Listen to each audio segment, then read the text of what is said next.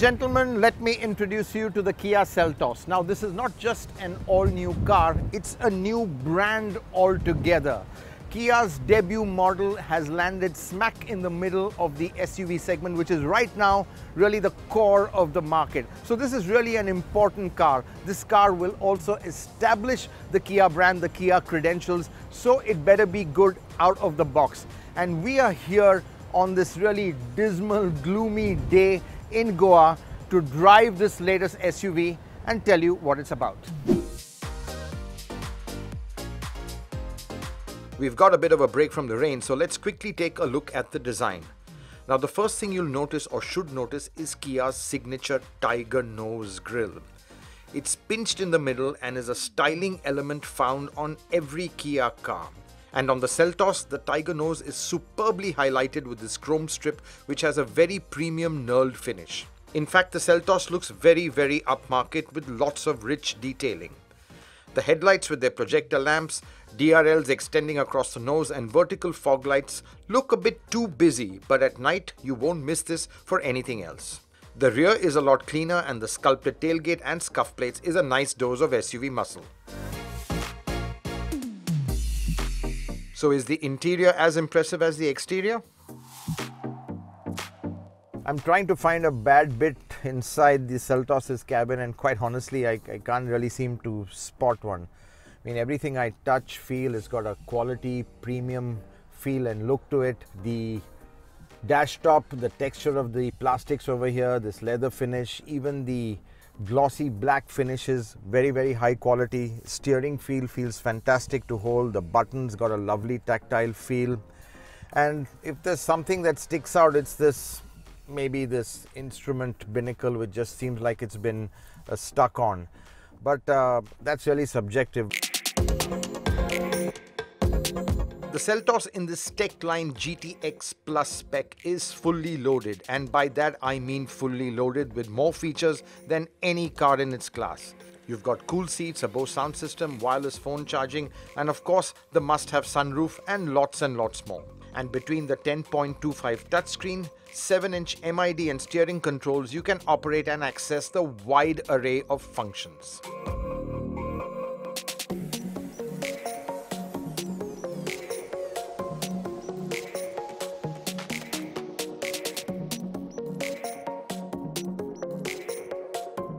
Got some many class first features. It's got something like air quality index which you can know the, the quality of air you're breathing inside the cabin.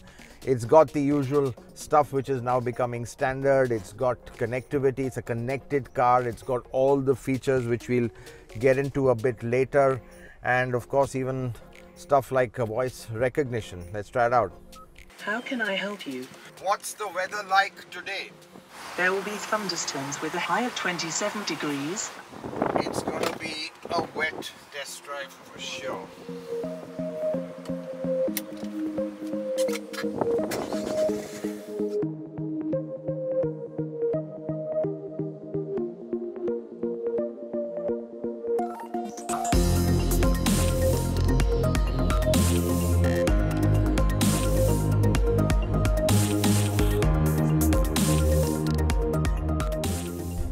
Cats and dogs. There's been absolutely no let up in the rain. It's just been wet, wet, and wet. So I'm going to tell you what the Seltos is like in the wet. Well, this car is really sure-footed and I think it stems from a chassis which is very stiff. In fact, this car feels very European in its feel. It's got that tautness, that stiffness. It's uh, fairly responsive. The steering could do with a little better feel, but honestly, for the kind of people who are going to buy this, it, it does the job. And what I really like is the ride and handling, the balance it's got.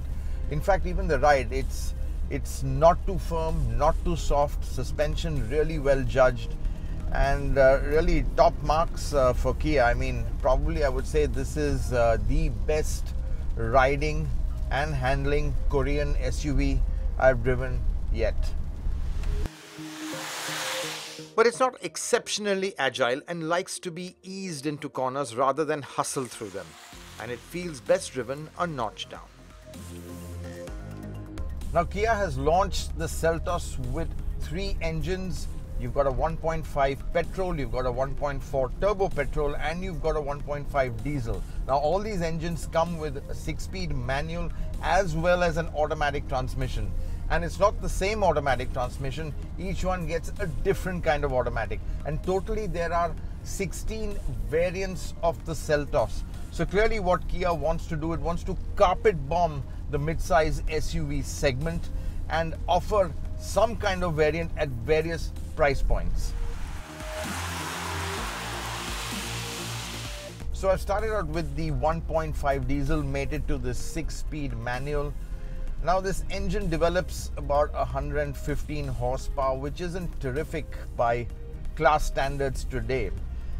But this engine doesn't feel underpowered at all. In fact, this engine just blew me away with its refinement. It is so quiet, so smooth, and the power delivery also very linear, very tractable. It's got a really broad torque spread. Yes, there's that little bit of turbo lag, but it's very marginal. But once the engine starts pulling, once it gets into the meat of its power band, it'll pull and rev all the way to 5000 RPM, which is really good for a diesel. In fact, this 1.5 diesel will be the staple engine of the group, powering a wide range of not only Kia but Hyundai models as well in the future. What you need to know is that this engine already meets BS6 standards, which in a way future proofs it when the tougher emission norms kick in. Yes, the diesel with smooth performance and claimed fuel efficiency of 21 kilometers per liter is the practical choice and the one to pick if you are chauffeur driven. So, how does it feel sitting behind the driver? I'm in the back seat, and well, what can I say? There's far more space in here than I expected. Don't forget, this is a 4.3 meter long SUV. It's more in the Creta category. It's not full blown like the Harrier and the Hector. It's not as big as those are. But even so, there's lots of space in here for four large adults. The legroom is terrific. Headroom is also great. Well, I'm not that tall, but even tall passengers won't have a problem because a little scoop over here so the head shouldn't brush against the headliner. The seats are comfy, a little short on thigh support over here, but uh, otherwise a great view out. Uh, large door pockets, uh, you've got a place for your mobile over here, USB port, and this pretty cool AQI readout so you know the quality of air inside the cabin. You've got a sun blind and even the rear seat it reclines a bit. Kia seem to have thought of everything.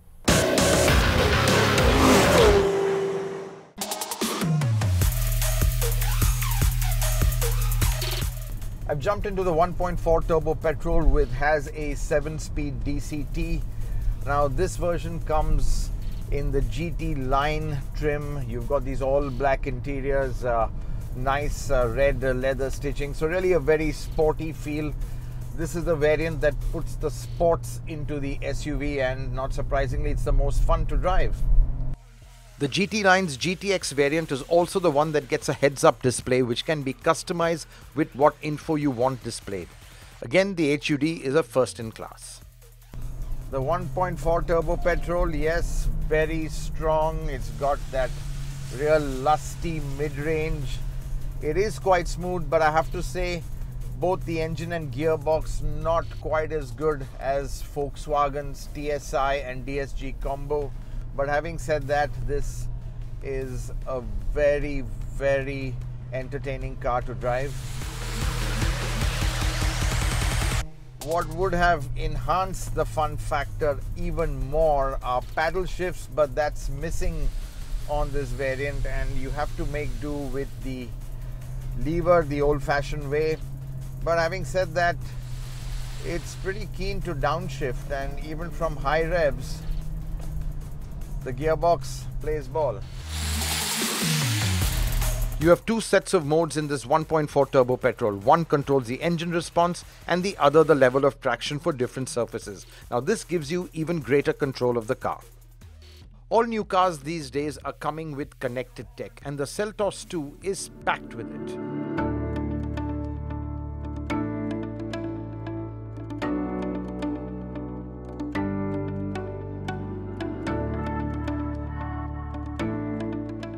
Now, connected cars, that's the next big trend. Every manufacturer is launching a sort of connected car, and the Kia Seltos is a connected car as well. Now, what does that mean?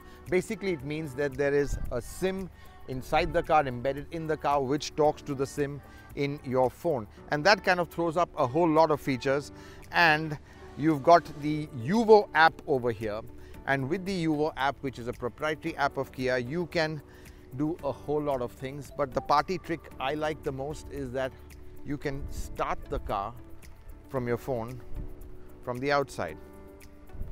There you go. Pretty cool, huh? And once I've got the car started, I can even switch on the AC and set the temperature. Now I'm standing outside over here, but you can do this from your office. So by the time you go down, your car is nice and cool. Not good for global warming, but definitely good for cooling the cabin. Now let's see how the concierge service works. Good afternoon. My name is Ritu and I'm calling from Kia Motors India. I understand that you have pressed Evo button inside your car. May I know which point of interest to? Yeah, can you take me to Goa Airport, please? Can you send me the map to Goa Airport? Sir, I check on my screen that there's a Goa International Airport. There's a Davoli, Marmugao, 403801 India. That is 26.439 kilometers from your current location. Okay, great. Can you just send me the map, please? Sure, sir, I'm sending. Sir, I sent the link to your infotainment system. Please check. Okay, Okay. yeah, got it. Okay, sir. Is there anything else I may assist you with? No, thank you very much. Now, that's for lazy people who don't want to input a simple destination themselves. But there are some other useful features too. Well, with the UVO app, it's like Big Brother is watching you because even from the comfort of your home, your office, or where I'm right now, which is the lobby of the W Hotel in Vagator, I know exactly where my car is, what it's doing, how fast it's going, and whether it has exceeded a certain boundary or exceeded a certain time, uh, time duration. So it's got geofencing, it's got time fencing, and it's got a lot of other cool features. Let's have a look. The app does a lot of things. It keeps a track of your service schedules, the health of your car, your driving data, how fast you've gone, and you can even select the destination you want to go to and push it to your car's navigation unit from your phone.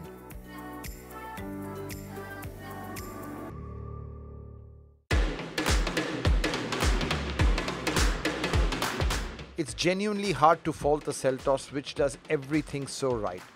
If there's a fault, it's more to do with Kia's wonky strategy of not offering the topmost trim level in a variant like the 1.4 turbo petrol DCT. But otherwise, rarely have we seen a car that is so complete, so well rounded, and so versatile. Okay, there's no four wheel drive option, but other than that, it offers everything an SUV buyer could possibly want. The Seltos is the one SUV to buy if you can buy just one SUV. Kia's maiden product is an absolute winner.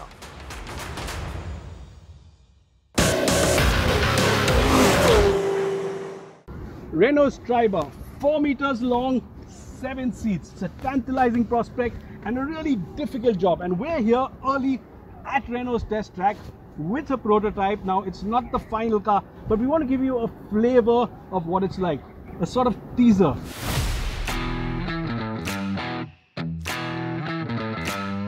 Seeing the car for the first time as a result comes as a huge surprise. Yes, Renault has used more and more vertical space on successive rows, but this is no telephone box on wheels. Far from it, the Triber has an interesting profile and it's even replete with nicely executed details. The sophisticated SUV like nose, the wraparound rear windscreen, it looks super. And then there are those details. The bonnet is muscular, the rising belt line gives the car an interesting tip forward stance, and what helps break up the mass is the kink above the rear door handle. I even like the rear a lot. The rear windscreen isn't vertical, so it doesn't look van like, and those long vulture beak like taillights are pretty neat. The cladding at the bottom, along with the mesh finish, also give it a bit of an SUV look. Renault's designers have also cleverly hidden an unsightly bulge on the roof by putting the roof rails right in front. Now the big surprise for us when we saw the interior of this car was how well it's built. It's not exactly Kwid quality, it's a big step up from there. Look at this stuff. Nice matte finish here. Of course, it isn't soft touch, but it looks like it is. You know, you almost like want to press this and see whether it's soft. These lovely dials, they've got these wedges that tell you the engine speed and other information of that. Nice big screen here and lots of storage. The storage here, despite having an airbag, is one here. This one is cooled, so is this one here. Two cup holders, a tray here. In fact, you could move half your house into the car. Renault has managed to deliver a good mix of colors, textures and scratch resistant matte grain, which makes it look a bit richer a few well-chosen metallic highlights and the layered look also give it that required upmarket feel. Sitting in the center of the dash is an 8-inch touchscreen with Android Auto and Apple CarPlay. Now this car is all about space for the passengers as well. And if you're not using the third row, you can slide this seat and this one as well all the way back. And look at the space here. Someone can sit here comfortably, there's loads of leg room, we pushed it back enough. Absolutely super.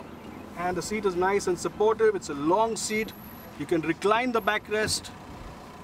So a pretty comfortable place to be the seats have a large range of movement so finding the right mix and match is easy and there's enough to make passengers feel comfortable Renault has also given you a vent in the B pillar and there are also other clever touches a blower control for rear passengers and although there's no USB slot, you do get a 12 volt socket. Now to access the third row, you've got to flip this seat forward. And surprisingly, it's super slick. Two fingers and it goes up. Now what Renault's also done is given you a big door opening. This is a pretty large door considering the size of the car. And getting in actually is pretty easy. Once that's down, Pull the seat back up. Now there's sufficient legroom here even with someone who's tall sitting in the second row and I'm pretty comfortable truth be told. It is a bit low but it isn't extremely uncomfortable or unusable. There are other things you need to pay attention to. There's a 12 volt socket here. You can plug in a USB to that. The seat belts of course aren't retractable. There's no space for the mechanism and because of the theater seating where the front seats are low, the second row seats are a bit higher and these are slightly higher than that. Visibility isn't too bad despite the smallish quarter glass here. With all three rows up, luggage space is just 84 liters. But of course you can flip and fold the third row or remove it completely. In fact, doing that opens a massive 625 liters.